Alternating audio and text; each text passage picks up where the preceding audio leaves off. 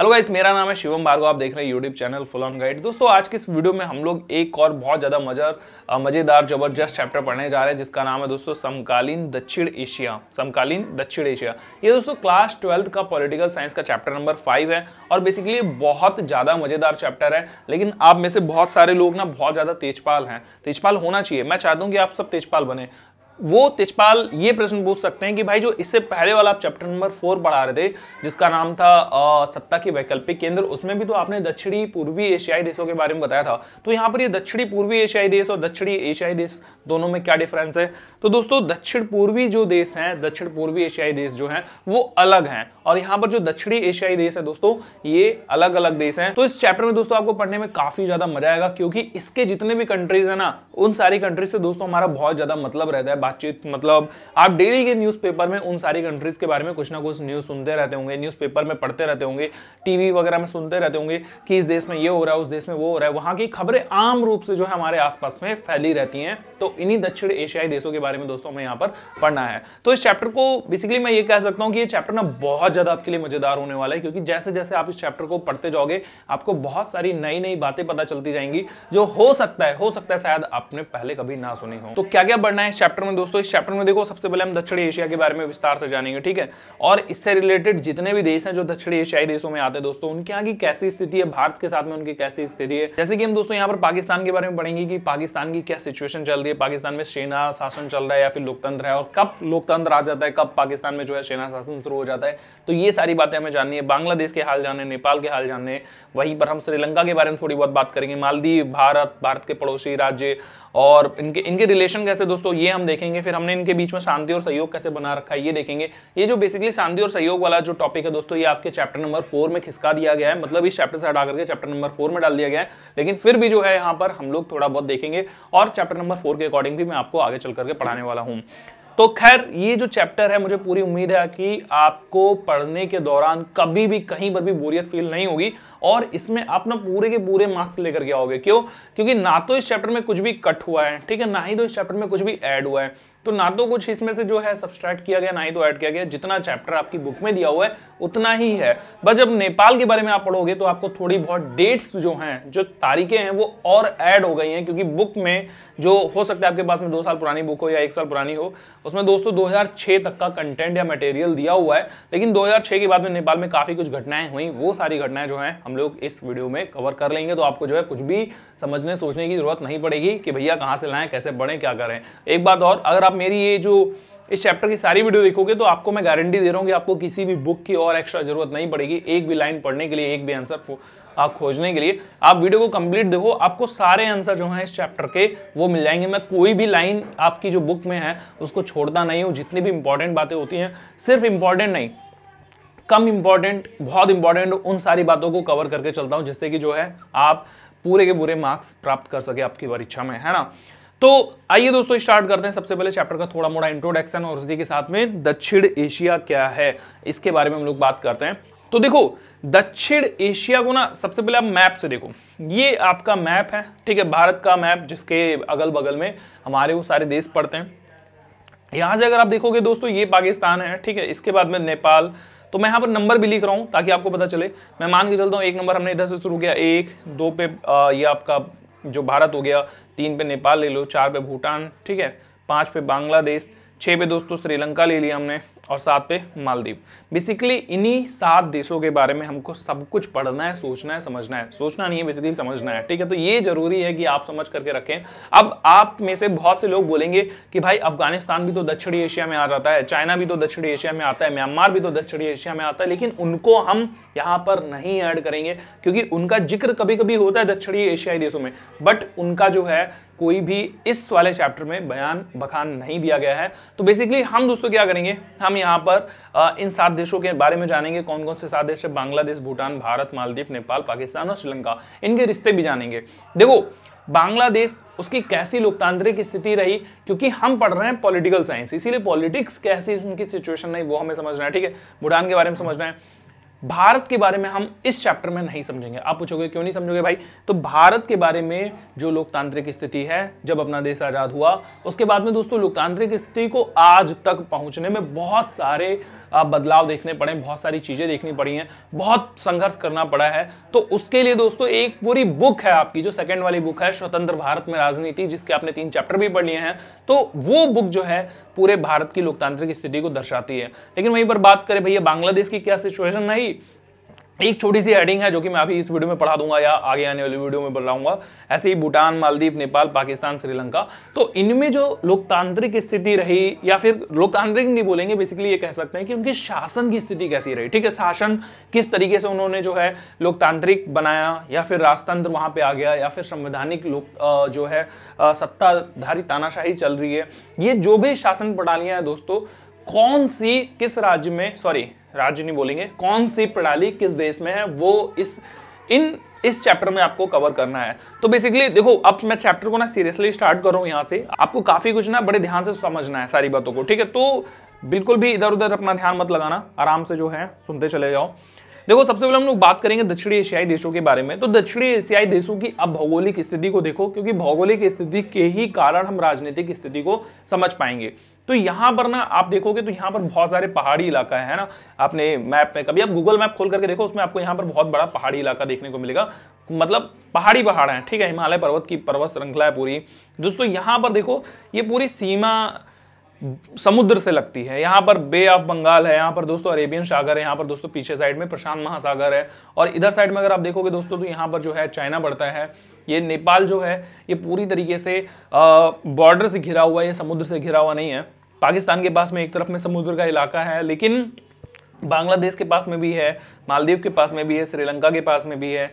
तो ये भूटान और ये नेपाल, इन दोनों देशों के पास में समुद्री इलाका नहीं है, लेकिन फिर भी आपकी यहाँ की जो भौगोलिक स्थिति है दोस्तों, वो कई जगहों पर पठारी है, कई जगहों पर श्रम है, कई जगहों पर विषम जगह है। कहने का मतलब ये है कि अलग अलग जगह हैं, ठीक है? अलग अलग इलाके हैं अलग अलग भौगोलिक स्थिति है, जिसके कारण दोस्तों जो यहाँ के लोग हैं, ठीक है? लोगों में विविधताएँ भी बहुत हैं।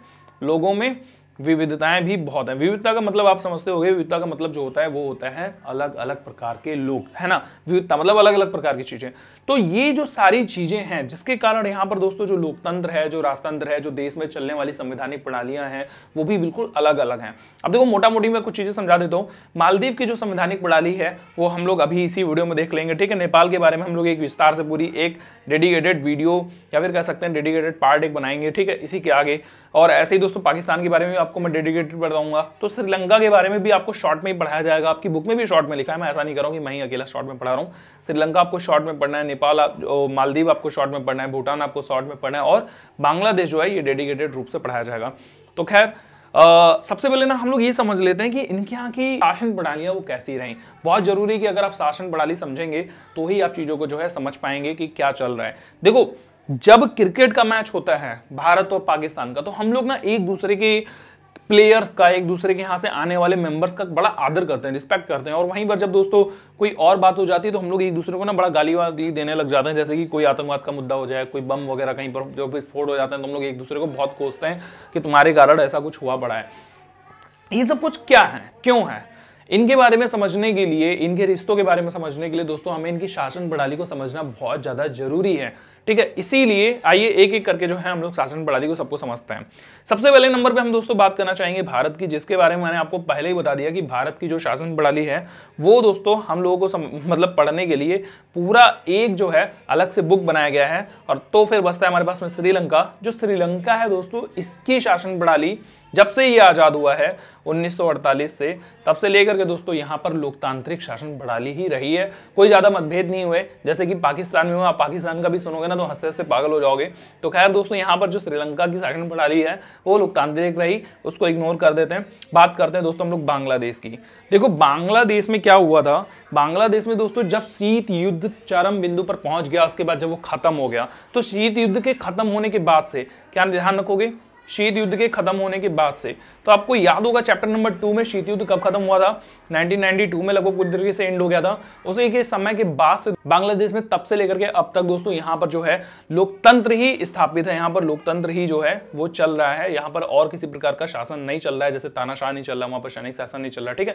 तो यहाँ पर दोस्तों लोकतंत्र ही अच्छे से कायम है। और यहाँ की जो जनता है दोस्तों, उससे जो है अब जब पूछा गया, एक सर्वे किया गया तो उन्होंने भैया लोकतंत्र को ही बहुत ज़्यादा चुना। अब दोस्तों हम लोग बात कर लेते हैं ये इस वाले देश की। इस देश को देखो, ये एकदम कुत्ते की तरह दिखाई देता है। ये आप इसका मुँह देख सकते हो। ये इसका मुँह देखो कैसा लग रहा है। कुत्ते का मुँह लग रहा है। दोस्तों, ये इसका पैर लग रहा है, ऐसा लग रहा है कुत्ता जो है, रोटी खाने के लिए बैठा पड़ा है। तो आप इसका नाम बता सकते हो मुझे कमेंट करके। ये दोस्त, ये जो देश है दोस्तों, ये है पाकिस्तान, ठीक है? ये देश जो है, वो है पाकिस्तान। इनकी शासन प्रणाली ना बहुत अजीब है। ये ऐसा बोलते हैं दोस्तों कि भारत जो है, वो हमारे आगे कुछ भी नहीं है। ये भारत के ऊपर बनते हैं। ये भारत के ऊपर बनने की कोशिश करते हैं, दिखाते हैं कि भारत से बहुत आगे लेकिन इनको पता नहीं है कि इनके आगे जो शासन प्रणाली है दोस्तों, वही आज तक कभी फिक्स नहीं हो पाई। जब देखो तब कुत्ते की दुम की तरह हिलती रहती है, जैसे कि कभी इनके यहाँ पर सैनिक शासन शुरू हो जाता है, कभी इनके यहाँ पर फिर से लोकतांत्रिक प्रणाली शुरू हो जाती है। अपने आप को कभी टिका ही नहीं पाए एक तरीके से। अपना भारत देख लो, जब से दोस्तों देश आज़ाद हुआ, तब से लोकतांत्रिक है। वहाँ पर ना तो आज तक देश विखंडित हुआ, ना ही तो अपने यहाँ पर कोई और प्रॉब्लम आई, ठीक है? संविधान भी बढ़िया से काम कर रहे हैं। भारत से अलग होकर के उन्होंने देश तो अपना अलग बना ही लिया। साथ में पाकिस्तान दो बार अलग हो गया। आपको शायद नहीं पता होगा, जो पाकिस्तान है वो टूट चुका है। आप में से बहुत सारे लोग शायद नहीं जानते हो कि जो बांग्लादेश है दोस्तों, वो भी कभी पाकिस्तान ही हुआ करता था, है ना? उन्नीस सौ बहत्तर से जो है वो बांग्लादेश बांग्लादेश बना, नहीं तो वो पहले पूर्वी पाकिस्तान था और जो पाकिस्तान है वो पश्चिमी पाकिस्तान कहलाता था। मतलब पाकिस्तान जब अलग हुआ था तो उसने दो हिस्से लिए थे, एक पूर्वी पाकिस्तान, एक पश्चिमी पाकिस्तान, है ना? तो वो अलग हो गया। आपने शायद इसी वाले चैप्टर में पहले वाले चैप्टर में पढ़ा होगा, अगर आपने ध्यान दिया होगा तो याद होगा, नहीं याद है तो कोई बात नहीं इग्नोर करो यार वो सारी बातों को। आगे चल करके हम पढ़ेंगे तो फिर से याद दिला दूँगा।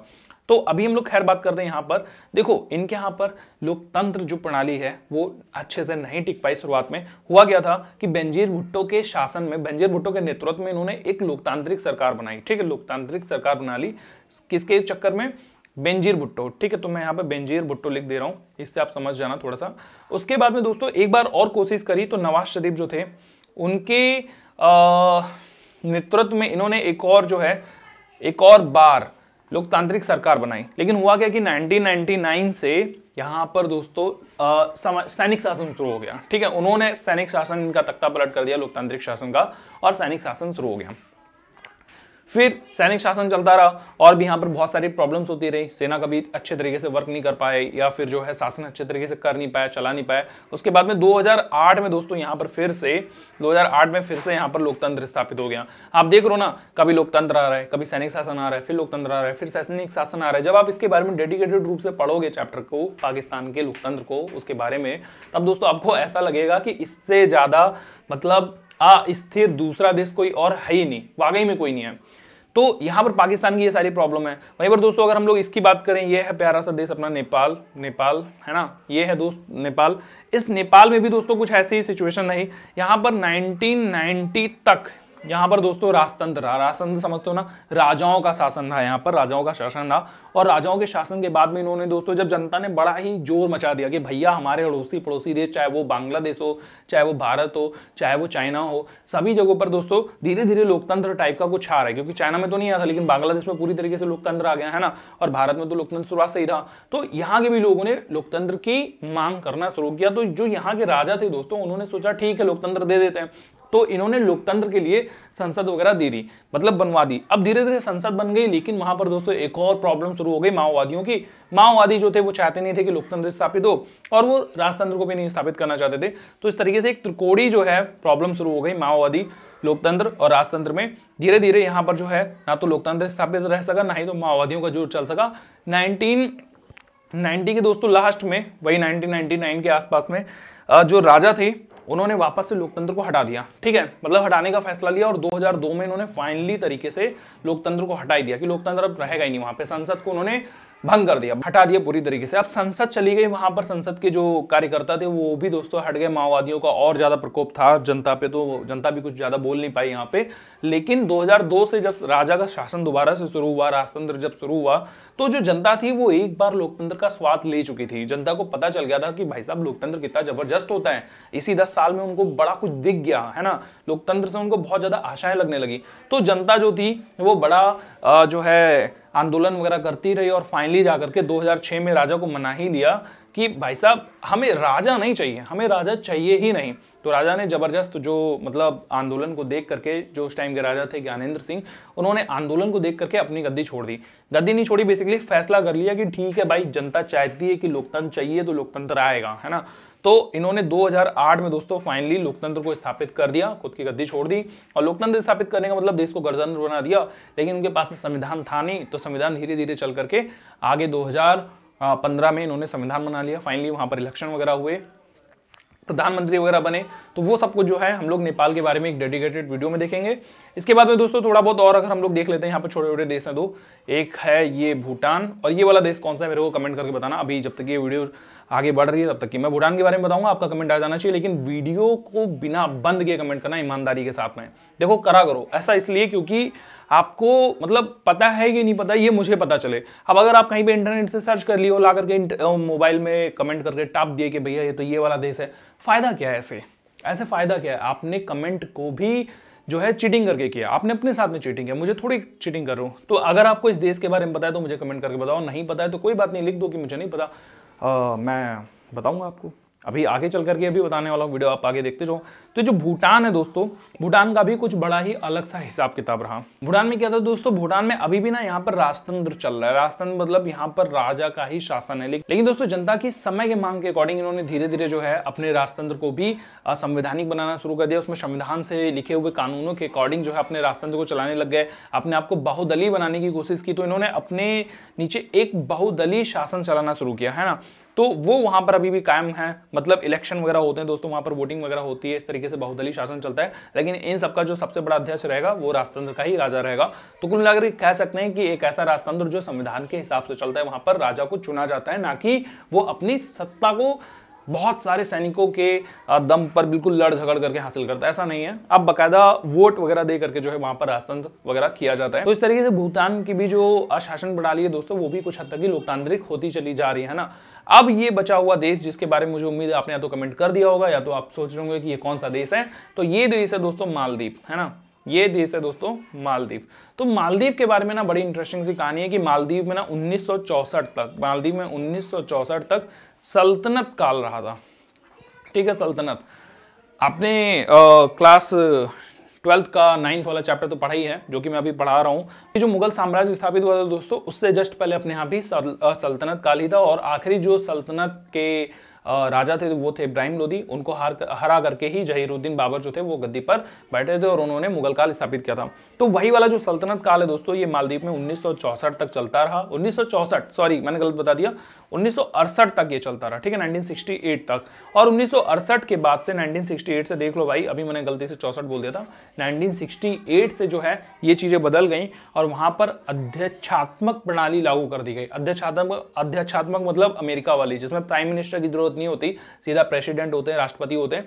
उसके बाद में दोस्तों 2005 में ना यहाँ पर एक इलेक्शन हुआ। बेसिकली वो इलेक्शन नहीं था इसे जनता की मांग थी, जन्म संग्रह वगैरह हुए तो उसके अकॉर्डिंग ये पता चला कि भाई यहाँ पर जो है अध्यक्षात्मक वाली प्रणाली ढंग से काम नहीं कर पा रही है। यहाँ के लिए चाहिए इनको बहुदलीय शासन प्रणाली, जैसे कि संसद, संसदनात्मक वाली जो प्रणाली है दोस्तों जो कि अपने भारत में चल रही है अभी भी, यानी कि एक वहाँ पर प्राइम मिनिस्टर भी होते हैं और प्रेसिडेंट भी होते हैं तो इस टाइप की प्रणाली के लिए जो है यहाँ पर अभी भी प्रयास वगैरह चल रहे हैं। और इसी की बात से दोस्तों, वहाँ पर जो है एमडीपी नाम की एक पार्टी है, यानी कि मालदीव डेमोक्रेटिक पार्टी तो ये पार्टी जो है शासन करी दो के बाद में ये इलेक्शन जीती थी। तो इस तरीके से दोस्तों, आप यहाँ पर ये देख सकते हो कि जितने भी दक्षिण एशियाई देश हैं, जो भी मैंने यहाँ पर सबकी बात करी ज़्यादातर जो देश हैं दोस्तों, वो चाहे कैसे भी शासन प्रणाली चलाते हो, लेकिन सारे के सारे देश कहीं ना कहीं अल्टीमेटली घूम फिर करके लोकतंत्र की ही ओर आना चाहते हैं। लोकतंत्र इसीलिए सबको ज़्यादा पसंद है, क्योंकि दोस्तों, लोकतंत्र की जो खूबियाँ हैं, वो अनगिनत है। बाकी सारी शासन प्रणालियों में कहीं ना कहीं बहुत सारे दोष होते हैं। सबसे ज़्यादा आदर्श शासन प्रणाली जो है, अब तक में लोकतंत्र को माना जा चुका है। खैर, हम लोग इनके रिश्तों के बारे में बात करेंगे तो जो इनके रिश्ते आपस में बिगड़ते बनते हैं, वो भी दोस्तों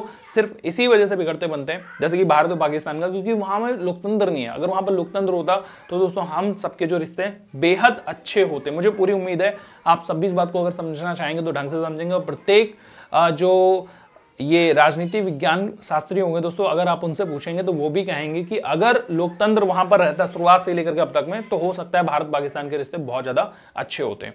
तो खैर अब लोकतंत्र कितना अच्छा है, इसको अगर आप जानना चाहते हैं, इसके बारे में अगर बात करना चाहते हैं तो थोड़ा सा एक सर्वे किया गया है। हाल फ़िलहाल में इन्हीं सात देशों में दोस्तों सर्वे हुआ, जिसमें से जो पाँच बड़े देश हैं, इनमें जो सर्वे था, उसका रिज़ल्ट यहाँ पर है हमारे सामने। तकरीबन बीस हज़ार लोगों का साक्षात्कार लिया गया, इंटरव्यू लिया गया। उनसे कुछ प्रश्न पूछे गए। उनसे पूछा गया कि भैया लोकतंत्र जो है वो तानाशाही से कितना ज़्यादा अच्छा है। तो दोस्तों, यहाँ पर 62 परसेंट जो लोग थे दोस्तों, उन्होंने बताया कि जो लोकतंत्र है वो तानाशाही से बहुत अच्छा है। आप देख सकते हो कि लोकतंत्र को बेहतर बताने वाले लोग और कभी कभी तानाशाही को बेहतर बताने वाले लोग, कभी किसी को कोई फ़र्क ही नहीं पड़ता इसको बताने वाले लोग, यहाँ पर किस देश से कितने लोग हैं। जैसे कि बांग्लादेश से 69 परसेंट ऐसे लोग हैं जो बोलते हैं लोकतंत्र बेहतर है, जबकि भारत से जो है सत्तर परसेंट लोग बोलते हैं, नेपाल से बासठ परसेंट लोग बोलते हैं, पाकिस्तान में सैंतीस परसेंट लोग बोलते हैं। उनको लोकतंत्र या फिर कोई फ़र्क नहीं पड़ता, इसमें देखो, जरा दोनों के अंतर को देखो। पाकिस्तान के जो सैंतीस परसेंट लोग हैं, वो बोलते हैं कि लोकतंत्र बेहतर है, ठीक है, लेकिन कोई फ़र्क नहीं पड़ता, वो इसलिए बोलते हैं क्योंकि भैया, उनको आज तक ही कभी लोकतंत्र के बारे में ढंग से पता ही नहीं चला, क्योंकि जैसे ही लोकतंत्र स्थापित होता है, सैनिक शासन आ जाता है, फिर लोकतंत्र आता है, फिर सैनिक शासन आ जाता है। तो यहाँ पर जो पाकिस्तान की जनता है उसको अब इतना भरोसा ही उड़ गया है दोनों सरकारों से कि वो सीधा बोलती भाई हमारा तो काम हम है अपने आप ही कर रहे हैं। मुझे मालूम है तुम विकास तो करोगे नहीं। जो भी देश में पैसा आता है वो बम फम बनाने में लगाते हो इधर उधर को दूसरे देशों को आतंकवाद को बढ़ाने में लगाते हो है ना? तो हमारा तो जो गुजारा होगा वो हम अपने आप ही तो हमारा जो गुजारा होना है जो हमारी तरक्की होना है वो दोस्तों हम अपने आप ही करेंगे। वहाँ की जनता ऐसा सोचती होगी मैं ऐसा नहीं करूँगी ऐसा कर, कहती ही है। सोचती होगी तो डेफिनेटली यहाँ पर जो है, उन्होंने उनचास परसेंट लोगों ने कहा कि भैया, हमें कोई फ़र्क ही नहीं पड़ता, चाहे लोकतंत्र हो, चाहे तो वहाँ पर राजतंत्र हो या सैनिक शासन है, जो भी हो। तो खैर, आप देख सकते हो कि श्रीलंका के भी जो है इकहत्तर परसेंट लोग लोकतंत्र को बेहतर मानते हैं। एक और दोस्तों प्रश्न पूछा गया था यहाँ पर कि लोकतंत्र कितना बेहतर है? मतलब लोकतंत्र कितना ज़्यादा बेहतर है? लोकतंत्र अगर है तो उससे कितनी ज़्यादा अच्छी चीज़ें हो पा रही है?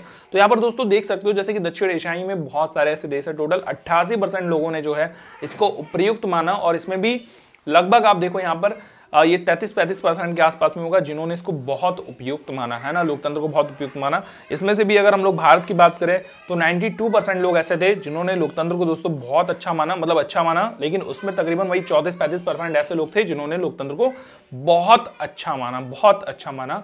ठीक है तो बहुत उपयुक्त जो है लोकतंत्र को इतने सारे लोग मानते हैं यहाँ पे। अब ओवरऑल हम लोग दोस्तों बात करेंगे कि लोकतंत्र जो है वो किस प्रकार से एक दूसरे से अच्छे संबंध बनाने के लिए मदद करता है। आगे आने वाले जो चैप्टर होंगे दोस्तों, वो उनमें हम जो पाकिस्तान है उसके बारे में डिटेल से पढ़ेंगे कि वहाँ पर कौन आया, फिर कौन गया, किस प्रकार की शासन प्रणाली थी, बांग्लादेश के बारे में पढ़ेंगे, नेपाल के बारे में पढ़ेंगे, और दोस्तों श्रीलंका के बारे में पढ़ेंगे। श्रीलंका में कैसे संघर्ष रहे, उनके बारे में पढ़ना है। मालदीव और जो भूटान है दोस्तों, इसके बारे में आपको नहीं पढ़ना है आगे, क्योंकि अब मालदीव और भूटान के बारे में जितना था वो मैंने यहीं पर पढ़ा दिया। अब बचे हुए यहाँ पर दो और टॉपिक पहला जो टॉपिक है वो है कि इनके साथ में सबका रिलेशन कैसा है भारत के साथ में? क्योंकि हम भारतीय हैं। भारत का और बांग्लादेश का कैसा रिलेशन है वो हमें पढ़ना है, लेकिन बांग्लादेश का और पाकिस्तान का कैसा रिलेशन है उससे हमें कोई मतलब नहीं ठीक है? तो भारत और बांग्लादेश, भारत और नेपाल, भारत और श्रीलंका, भारत और पाकिस्तान, इनके बीच में उन सारी चीज़ों को दोस्तों में यहाँ पर समझना है। साथ में इनको, इनके बीच में शांति बिठाए रखने के लिए, शांति बनाए रखने के लिए क्या किया गया है, वो भी सारी चीज़ें आपको आगे आने वाली वीडियोस में मैं पढ़ाऊँगा। कोशिश करूँगा कम से कम वीडियोस बनाऊँ मतलब कम से कम का मतलब ये है कि कम से कम पार्ट बनाऊँ और ज़्यादा से ज़्यादा मटेरियल एक वीडियो के अंदर डाल दूँ। लेकिन ये वीडियो आपको कैसा लगा मुझे कमेंट करके ज़रूर बताना। अगर आपका कोई भी डाउट हो तो कमेंट बॉक्स में ज़रूर पूछो। इस वीडियो को अपलोड होने से लेकर के शाम के सात बजे तक ताकि मैं आज ही के दिन पर इस पर जो भी आपके डाउट अगर आते हैं आते हैं तो मैं उस पर एक वीडियो लेकर के आ जाऊँगा। और कल वाली जो वीडियो होगी डाउट की, उसमें भी मैं आपके जो डाउट्स होंगे, वो पिक कर लूँगा, अगर आप कोई डाउट पूछते हैं तो। तो आशा करता हूँ दोस्तों, आपको वीडियो पसंद आया अगर वीडियो पसंद आया तो भाई लाइक ज़रूर कर देना चैनल को सब्सक्राइब कर लेना। अगर नहीं किया हुआ है तो पहली बार वीडियो देख रहे हो तो। और सबसे बड़ी बात, अगर आपने वीडियो पूरा देखा है तो कमेंट बॉक्स में ज़रूर लिख करके बताना मुझे कि वीडियो पूरा देखा और मुझे बहुत अच्छा लगा। तो आशा करता हूँ सब कुछ ठीक ठाक ही लगा होगा बोलना मेरा। तो मैं मिलता हूँ आपसे अगले वीडियो में, तब तक लिए गुड बाय टेकर अपना ख्याल रखें, हँसते रहिए, देखते रहिए फुल गाइड